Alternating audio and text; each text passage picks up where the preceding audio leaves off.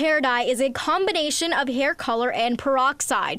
When color is applied to the hair, the peroxide is what opens up the shafts in the hair, allowing the dye to soak in. Cosmetology professor Deborah Peterson says that the level of peroxide is what creates the most damage.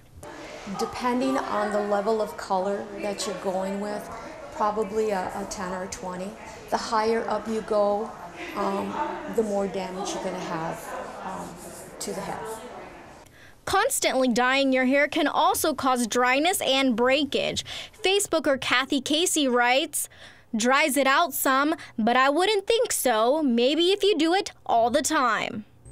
After dyeing your hair, you want to make sure you purchase the right color treatment products that will extend the life of your color and also protect your hair from damaging using something like a leave-in conditioner. Even if you use the right products to treat your hair, applying the dye correctly is what's key.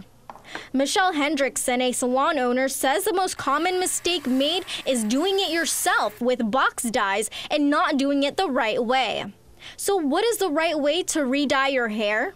When you have regrowth from the scalp, you have to be very careful to only apply the color to the regrowth area and let that process generally for 20 to 30 minutes and then you need to uh, go back through and apply the color to the ends just to refresh the color.